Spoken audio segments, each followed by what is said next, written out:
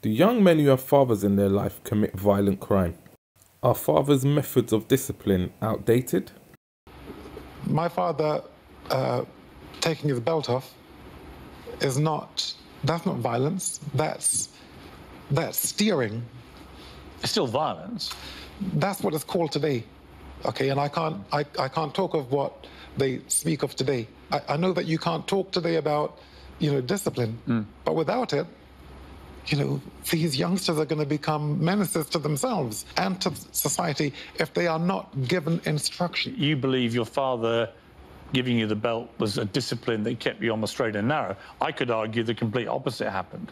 That despite using the belt on you, you were very unruly at school. I wouldn't say I was unruly. Are you from the spare the rod, spoil the child school of thought? Or are you one of those who say the government stopped us disciplining our children?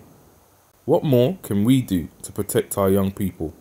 Join the conversation on Wednesday, 3rd of March, 7:30 p.m. For more information, visit fatherfigure.org.uk forward slash men talking.